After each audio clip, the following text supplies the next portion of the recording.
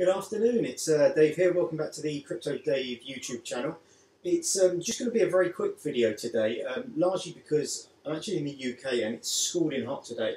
And if I have the fans on in the office, I can't actually hear um, the recording properly from my, my headset. All you get is the, the buzz of the fan. So uh, I've had to switch all the fans off and it's getting gradually hotter and hotter and hotter. So it's going to be a very quick video today. But um, the reason I'm doing it is because a few people um, asked me after I mentioned in one of my other videos that I'd switched from mining Bitcoin with my Antminer over to mining uh, Digibyte.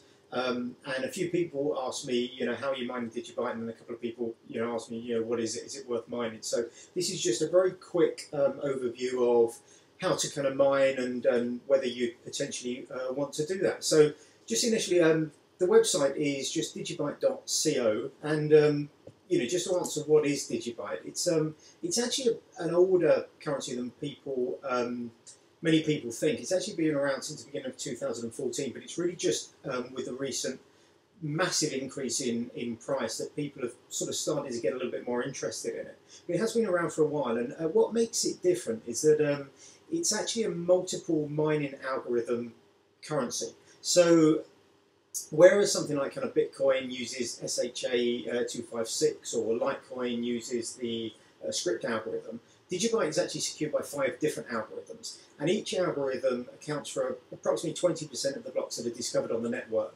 Um, but the network as a whole is, is, is secured by all five of these algorithms, uh, which makes it obviously a lot more difficult to have centralized you know, mining, which a lot of people are quite um, concerned about with Bitcoin, you know, the large Chinese mining firms. The other thing is it's more difficult to um, coordinate the 51% attack because you'd have to have um, not just a load of SHA-256 miners, but you'd have to have Scrypt miners, you'd have to have, you know, miners, you know, um, attacking all these different algorithms at once. So that's the kind of basis behind the coin. It's, as I said, it's been around for a while, and it hard forked, I believe, um, a while ago to multiple kind of mining algorithms.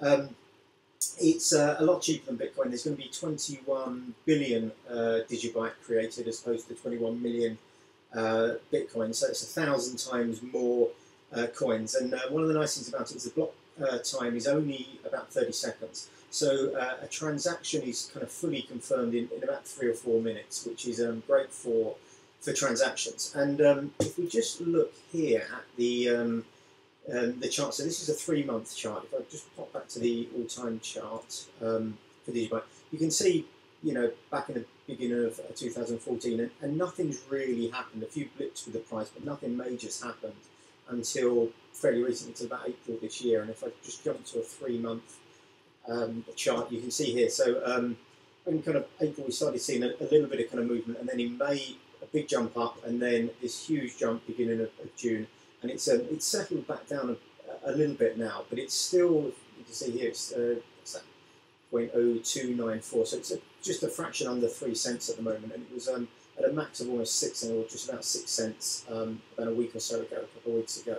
So it's it's had a peak and it, it's um, it's pulled back a little bit, but it's still you know massively higher than it was previously. And this is why a lot of people are are interested in it.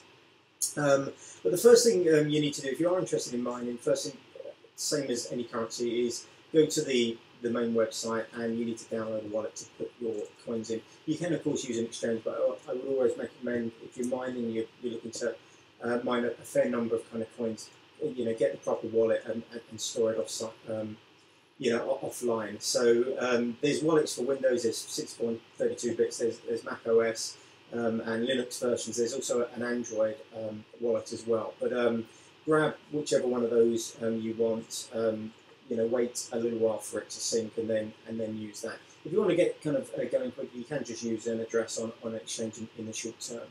But um, uh, I'm actually mining through a site called the Blocks Factory, uh, which is a mining pool. And the nice thing about that, as you can see here, you've got all your five different algorithms. So there's SHA-256, which I'm using. There's uh, Scrypt, which is the uh, most commonly used for Litecoin. That's what it's most famous for. Um, and there are ASICs for both these um, these algorithms now. But the other three, so Skein and Qubit, and um, I think this is pronounced Grossel or Grossel. Um, I think based on a, a, Danish word, so I may well be pronouncing that wrong. But those three are ASIC-resistant algorithms. Um, you can GPU mine them, um, which is kind of nice, and you can GPU mine them using you know a, a recent version of SG Miner. And there are various tutorials um, online about doing that. I won't jump into that now. Most of my GPU stuff um, as I mentioned before, I just point over to NiceHash because it's nice and simple. But if people do want um, a little bit more of an in-depth one, I can always do a video setting up um, SG Miner to, to mine Digibyte um, via GPUs. But um, I'm actually using the SHA pool here. Um, this is the Stratum server. If you have an Antminer or anything like that, I'll just show you here. So this is my Antminer, and it's as simple as going to the configuration setting, putting in the URL here, so you can see here, this is the Stratum URL, and then you've got your uh, worker username and password.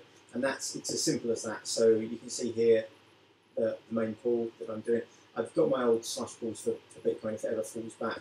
Um, but what you should see is the accepted ones going up. So we're at 650,445 if I refresh that. 650, 448. So that should be going up fairly rapidly if everything's working okay. So just jumping back to the blocks factory, um, if I look at um, my stats, so this is my miner here, Wavy UK at the bottom. So it's saying um, over, I think this is based over the last sort of five minutes, it's saying about 500 um, digibyte a day. Um, you can see here in the last 24 hours, I've, I've averaged 321 digibyte, and, and it's been around that uh, uh on a daily basis. It's about 330 a day with my Antminer R4. And at current um, prices, so it's about three cents, so that's approximately ten dollars a day. So it's um it's a nice kind. You know the the the blocks are very very quick. And it's nice sometimes with a coin, you know, if you if you're Bitcoin mining still, you know, you're getting fractions of a of a Bitcoin every kind of day, or you know, very tiny kind of fraction. So it's quite nice to, to switch over here and then to a coin that is, you know, generating a large number of coins. I know they're not worth as much, but you know, you're getting 300 odd a day. That's maybe 10,000 um, uh, a month. Um, so somewhere in that kind of range, so 10,000 kind of digibyte a, a, a month, just with one sort of fairly modern um, SHA miner.